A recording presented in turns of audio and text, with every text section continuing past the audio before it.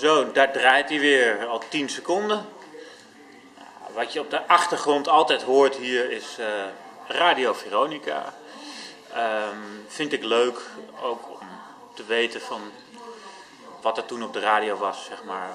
Het geeft een beetje, je kan ook een krant erbij doen, weet je wel. Het is vandaag, het is vandaag. Een soort bewijs dat ik, dat ik niet eh, eh, dit al heel lang geleden heb gedaan. Of wat dan ook. Hè? Nou ja, goed. Ehm, dit is een eh, brief. Dit eh, illustreert hoe lang ik al bezig ben.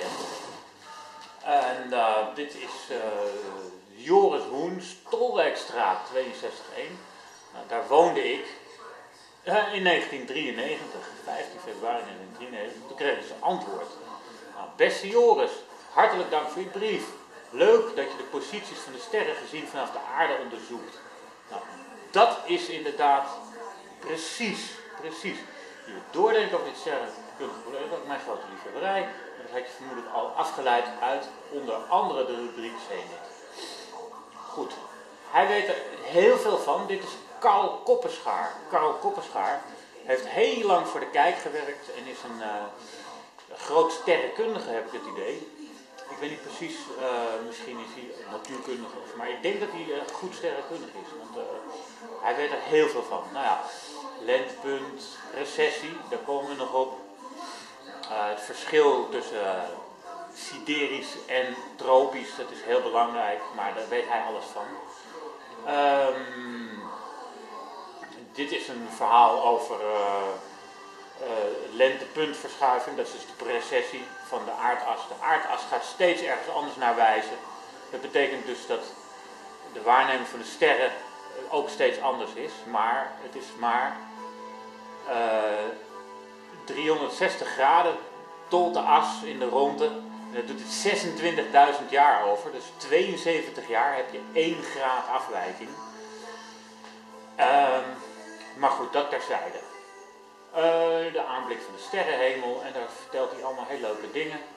Dat je ook eh, over 13.000 jaar ongeveer, eh 15.000 jaar, dat wij dan ook het Zuiderkruis kunnen zien vanaf hier, hè, vanaf Amsterdam, dat soort dingen. Alles verandert. Mm, hij doet wat fotocopieën bij over precessie en mutatie. Daar had ik vragen over. En eh, verder stel je zeer terecht dat de aardrijkskundige benaming kreeftspierkring en steenbokspierkring onjuist zijn. Evenals de astrologie zijn ze door de precessie hopeloos verouderd. Nou, daar komen later op de precessie en eh, dat hebben ze niet gedetecteerd. Toen ter tijd, in de tijd dat ze de jaartelling zijn eh, begonnen. Ehm, en daar ook over meer. Hier heb ik ehm, ja, een bewijs dat ik eh, ja, toch al ehm, een Celestial Clock, afgekort CGC, dat heb ik al helemaal ingeburgerd. Maar ik denk dat de Celestial Globe Clock een beschermde naam is nu vanwege Galileo zijn eh, creatie, dat hele mooie ding, wat ik ook in China bij de astroloog, astronoom, sorry, bij de astronoom van de keizer eh, hebben ze dat ook eh, gebouwd, alleen veel groter, een heel groot ding was dat. En daar zag ik al, die van Galileo staat ongeveer net als die van mij. Is ietsje zuidelijker, dus ehm, hij gaat ietsje meer naar eh, de Evenaar toe.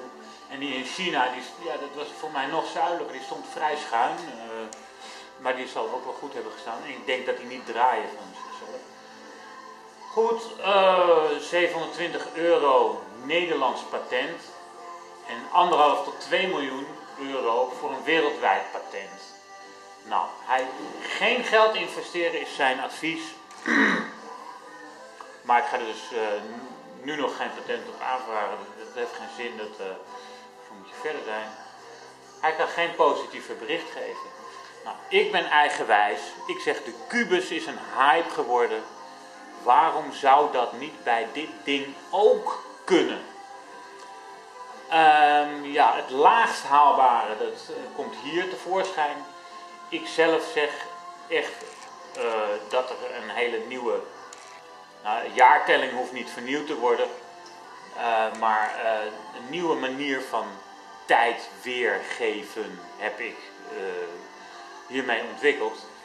En het is, heel, ja, het, het is de visualisatie van de wetten van de tijd zitten erin. Dit is een klok.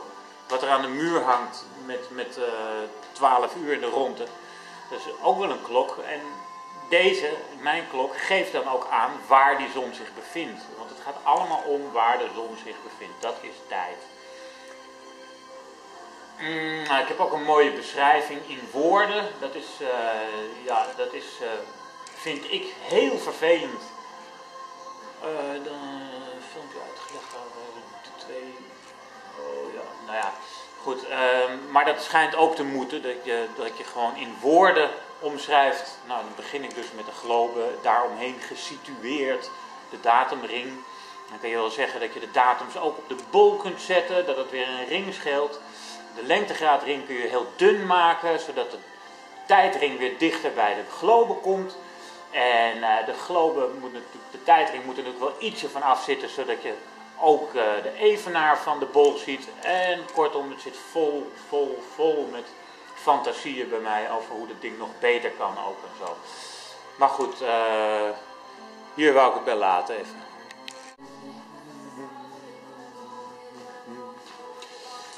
Nieuwheidsonderzoek door u verricht. Ik ben de zender. Het nieuwheidsonderzoek heeft uh, die, Hans van der Voer uh, verricht. Hij zegt van, nou ja, het, bestaat nog niet, maar begin er niet aan, want het is voor niemand leuk. Ik zeg, het is wel voor iemand leuk. Let op, onder cliëntcode R39 en declaratie nummer 617 heeft u voor mij onderzoek gedaan naar mijn slash globeklok slash frame. Ook wel Global Starfinder genoemd. Daarvoor hartelijk dank. De rekening is als goed is vandaag voldaan. Uh, wat ik ook van u begrijp is dat er naar verwachting nooit veel van verkocht van worden als hij überhaupt al in productie genomen zou kunnen worden. Toch zou ik voor die enkele geïnteresseerde het liefst iets te bieden hebben. En ook ben ik hier al zo lang mee bezig dat het mij nooit meer loslaat lijkt Daarom ben ik uh, dus toch op zoek naar op zijn minst een producent van de vijf ringen en het standaard. Uiteraard zou het mooi zijn als ik die gegevens zoals tijdring, lengtegraadring en datumring aan weerszijden erop komen te staan. Nu plak ik foto's op die ik ook nog eens moet uitsnijden. En gebruik ik hout. Mocht u iemand weten die dit soort dingen kan maken van plastic of iets dergelijks, zou ik daar graag van horen. Nou, het kan van plastic gemaakt worden. En um, het kan ook van uh, aluminium gemaakt worden. Een aluminiumbol wil ik al hebben. Uh, je kunt twee kanten uit. Je kunt naar duur toe en preciezer. Maar je kunt ook naar goedkoper toe. Je kunt ook van karton maken en, en, en heel goedkoop houden. Maar ik wil eigenlijk een hele range van uh, goedkoop en duur. Maar dat komt misschien over 20 jaar. Ik ben er al 20 jaar mee bezig. Dus ik ga er gewoon lekker mee door.